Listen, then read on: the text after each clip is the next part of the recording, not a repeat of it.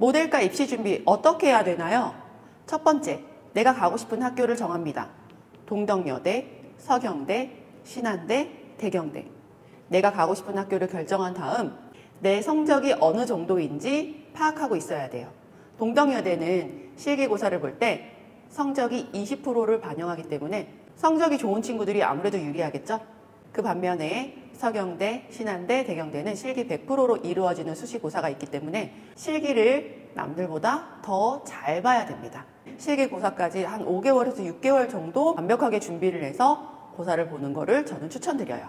저희는 워킹, photo pose, 특기 자기소개, 모의 면접까지 확실하게 여러분들을 합격의 길로 안내합니다. 6&6 플러스 모델 입시 아카데미로 오세요.